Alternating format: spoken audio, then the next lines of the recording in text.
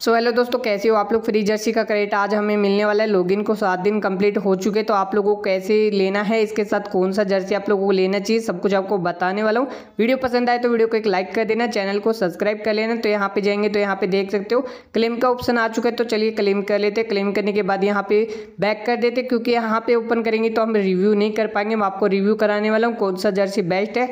उसके बाद यहाँ पे कैसे लेना है, सब कुछ आपको बताऊँगा। वीडियो को लाइक और शेयर ज़रूर से कर देना।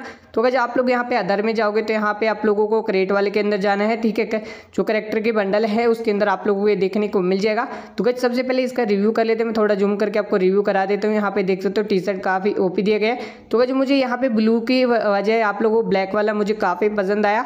आप लोग कौन सा अच्छा लगा कमेंट करके ज़रूर से बता देना। आप लोग दो जर्सी ले सकते हो, एक क्रेट तो आपको अभी मिले और एक बॉक्स आप लोगों को तीन दिन के बाद लॉग करने पर मिलने वाला तो यहाँ पे देख सकते हो रेड वाला काफ़ी ओपी है इसके साथ, यहाँ पे ब्लैक वाला मुझे अच्छा लगा। तो गज आप लोग जैसे क्रेट को ओपन करोगे तो ओपन करने के बाद आप लोगों को तीन ऑप्शन दिखाई देंगे। आप लोग इनमें से एक चूज़ कर सकते हो। जो आपको पसंद आए, वो आप लोग चूज़ करके ले सकते हो। तो गज मैं अभी नहीं लेने वाला, बाद में मैं यहाँ पे क्लेम करने वाला हूँ। तो गज वीडियो को लाइक ज़ोर से कर देना, और आप लोग कौन सा जर्सी लेने वाले कॉमेंट करके ज़ोर से बता देना। वीडियो को लाइक शेयर कर देना।